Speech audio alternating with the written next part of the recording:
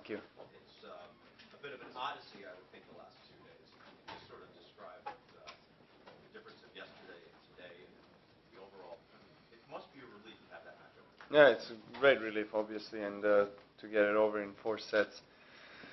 Uh, as well, I mean, I was a different player. I felt much more comfortable on the court today than I did yesterday. Obviously, the conditions were um, more brutal for for all of us who played uh, played yesterday. I can imagine only for the two guys before us. I mean, they had to play, uh, you know, four sets on, on that wind, and uh, you know, he was Ferrer was, uh, um, I think, coping with uh, with that conditions much better than I did, and he he was uh, handling it great. I mean, I I haven't found any rhythm, so. You know, for, for I didn't mind getting off the court yesterday, to be honest, and coming in today. But you had No, stayed no, on no, no, court. Dejan, sorry, you have to raise your hand. Um, Yeah. You played Andy in two pretty big occasions this year at the Australian Open and the Olympics and different outcomes both times. What, what were the differences in the two matches and what do you, what do you remember most about that Australian Open?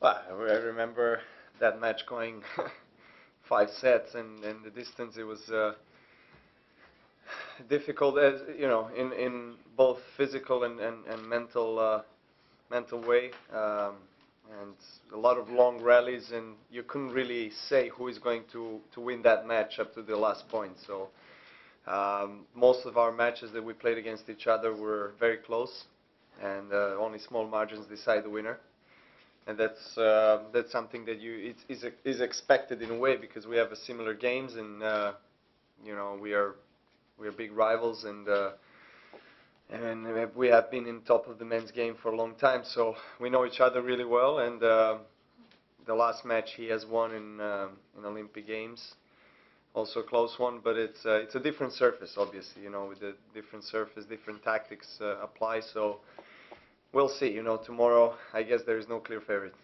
Emma, can you no, take us wait, through your routine no. over the last, you know, 30 hours? I'm sorry. No, yeah, no, I got two questions and I can see, yeah.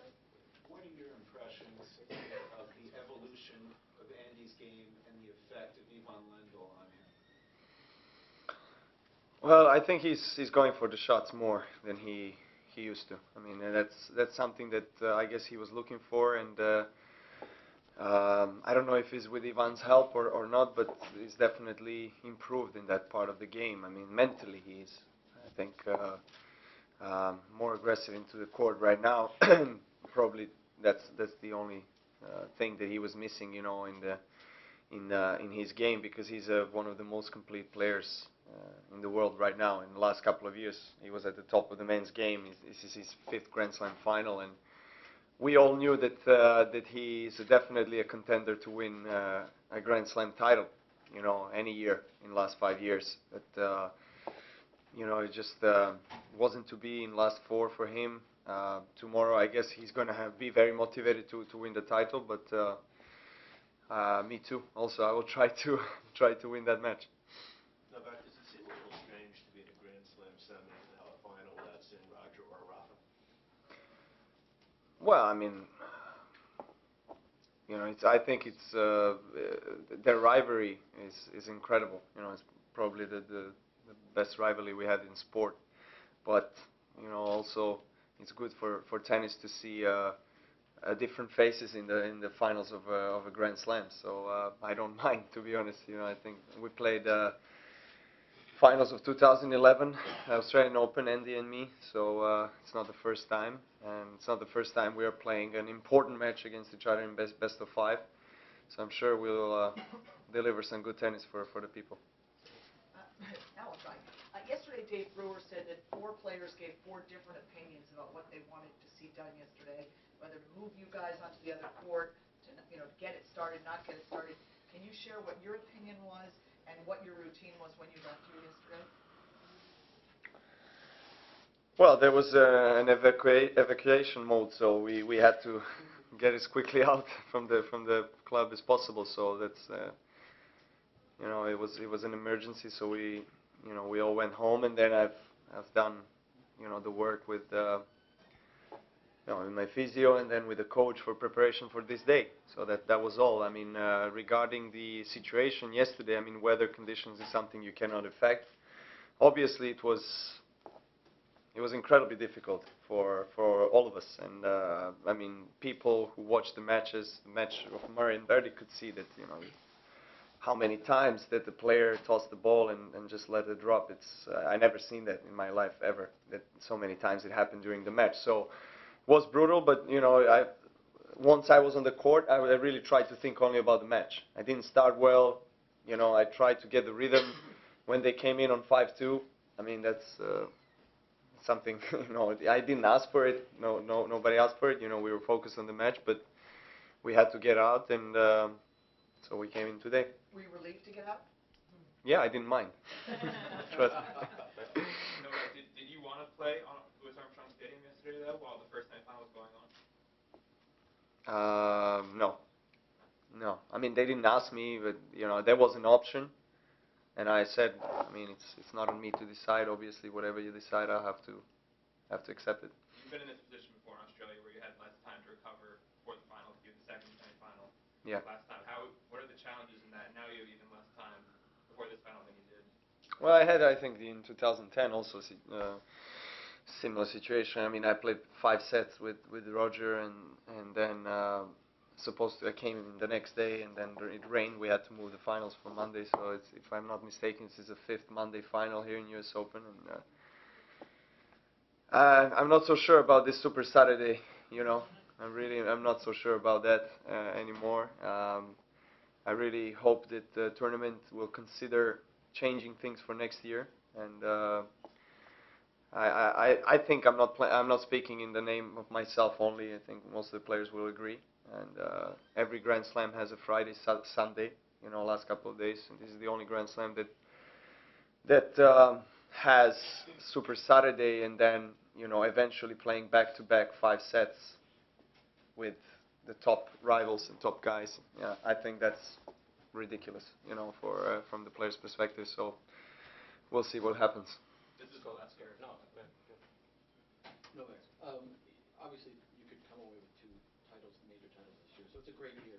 But you were playing at such an extraordinary level last year. What, what was, what's the mental journey for you been like? The challenges of, obviously, you had to come down a little bit from that level, and, and why do you think that happened, and how did you tunnel through that?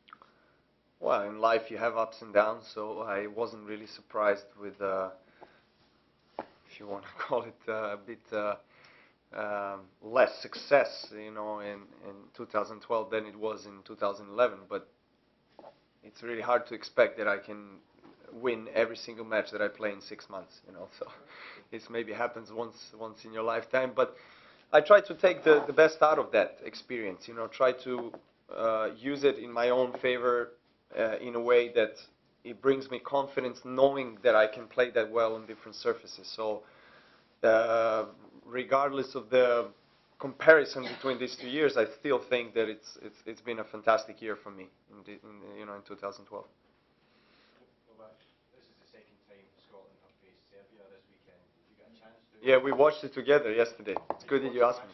We did zero zero. We watched we watched before his semifinals. Uh, We took the computer and we watched. We were talking about the football qualifications for uh, soccer. that you call it. So it was Scotland against Serbia, and we watched it. And uh, obviously, it was. Uh, we we tried to be quiet, but inside we were cheering for our own uh, national teams. Novak, how is your physical status? Do you feel fresh or any injury problems? Uh, no, no, I don't. I don't feel any problems physically. I mean, as I said, it was good to to have the job done in, in four sets today, and uh, um, I feel I feel feel fresh as I can be at, the, at this stage of the tournament, and looking forward for tomorrow. New Yorkers make a big deal out of the weather, so I feel compelled to ask you this question, uh, because it hasn't been asked. Um, Murray completed his match in the wind. Uh, Ferrer was coping better in the wind, you said. Yes. If you had to play all those sets in the wind yesterday, do you think the outcome might have been different? The outcome is the way it is today. So we. I don't want to think. I don't want to go back. No ifs now. At, at the French at the French Open uh, Rafa final, Rafa was in pretty good control, and then you really uh, put together an incredible rally, as I recall, like eight games in a row, and had the momentum and, and seemed to be going somewhere. Then the rain came. and then the weather Yeah. didn't help me.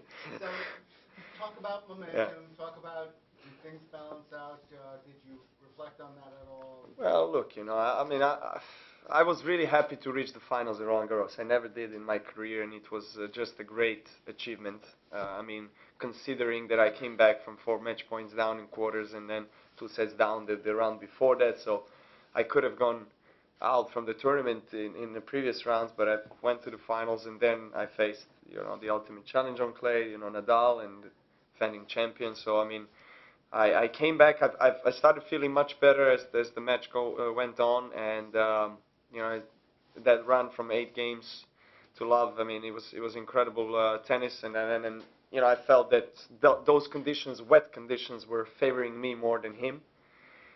And then the you know the rain came, and uh, we we continued the next day.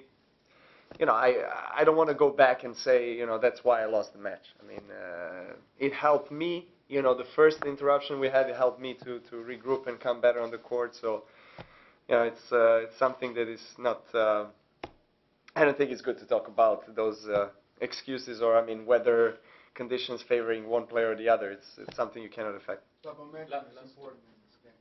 Momentum. Yes. Yeah, of course. I mean, of course, momentum is always important. Last two in English, please. Please. Oh, um, if you don't mind, uh, one quick one again about yesterday's conditions. As an experienced